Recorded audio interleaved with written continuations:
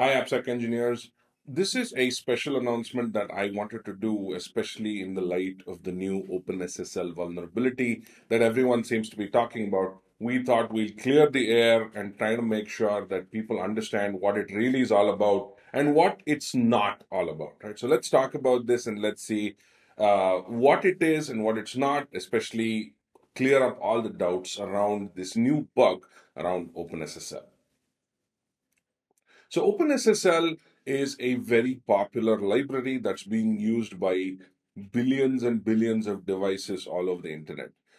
Uh, OpenSSL basically allows, gives you a bunch of cryptographic APIs that allows you to do everything from certificate management, generating certificates, to generating keys, to um, hashing to do other encryption operations as well. It is a very, very popular library that is being used from toasters to uh, servers that process tons of information uh, in terms of storage and so on. So OpenSSL is ubiquitous, it's there everywhere.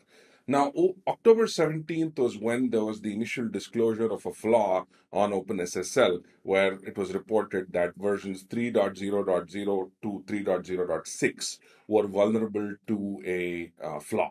Now, as soon as this happened, naturally the community sprang into wild speculation simply because most assumed that it would be a remote code execution. Now, if you remember in 2014, there was Heartbleed, which is one of the, which has still been one of the most talked about vulnerabilities on the internet. Heartbleed is an OpenSSL flaw which caused remote code execution, which caused the attackers to be able to gain access to backend and to be able to compromise the backend. So Heartbleed was a pretty huge flaw, and people immediately started to have a throwback to the Heartbleed flaw. But it so turns out that it is not as bad as Heartbleed. Uh, the vulnerability was ca- classified from critical initially when it was disclosed to a high on November the 1st. And that's why I'm making this video on November the 2nd to kind of clear the air about what it is and what it's not. Now, first of all, the very fact that the vulnerability was classified from critical to high automatically means that it may not be as bad as initially thought of.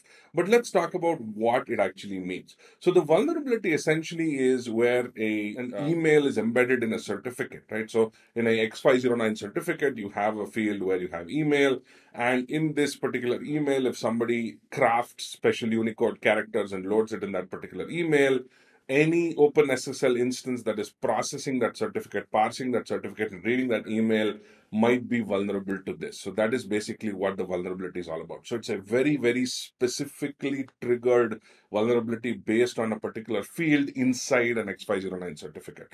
So this might typically happen when, uh, you know, in terms of email-based uh, communication or when an X509 certificate is crafted and uh, the email has a particular set of Unicode, crafted Unicode characters that may be vulnerable to this. So initially, while it was thought of that it was vulnerable to remote code execution where somebody could use this and trigger a remote code execution and take over the backend server.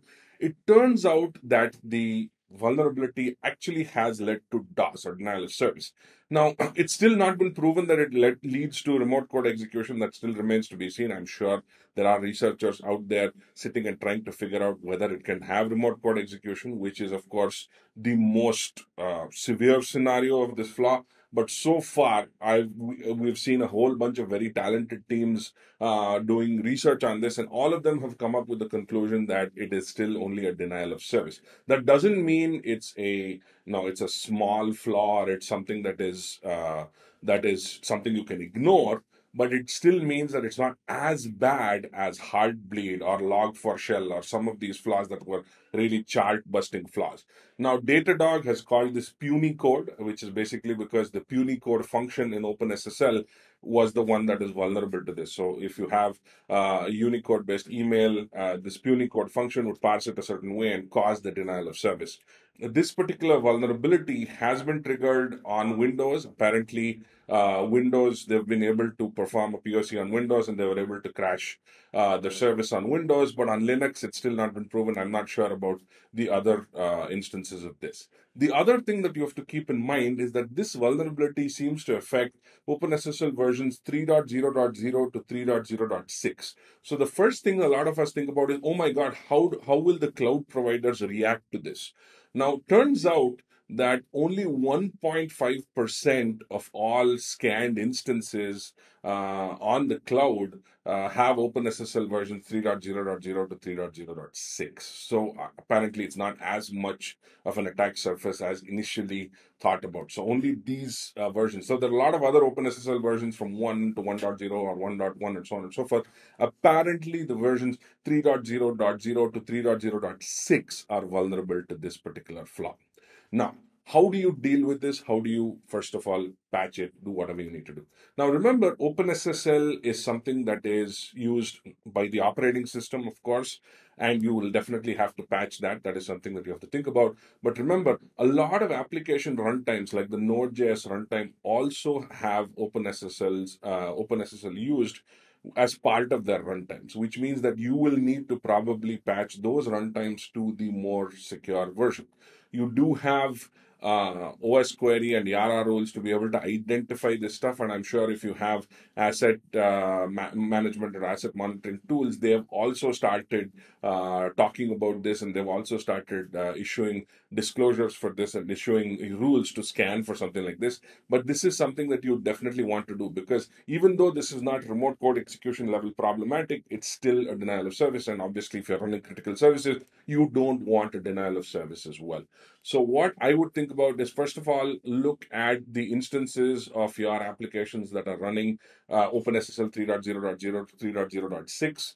Uh, patch it to the 3.0.7 version that seems to not be vulnerable. Of course, you can never say today, especially after the log4j fiasco, there may be a whole series of uh, vulnerable and not vulnerable and vulnerable and not vulnerable instances that might be released. But so far, it looks like the OpenSSL team has released 3.0.7 that is not vulnerable to this. Now, remember the the skill level and the cost of exploiting this is a little complicated. You need to it, it is only triggered under a very specific condition in a very specific type of communication. So, which means that the natural uh, possibility of this happening at you know randomly all over the place is a little lower. So that is something that you can take a little bit of solace in. Not as bad as Heartbleed, but it's still a vulnerability that you need to take seriously and look at patching to the newer version, especially across all of these different runtimes.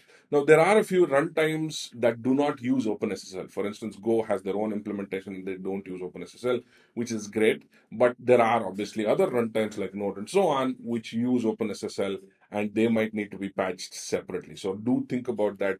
Do use these scanning tools and uh, to be able to identify this flaw, and of course patch this flaw as soon as you possibly can.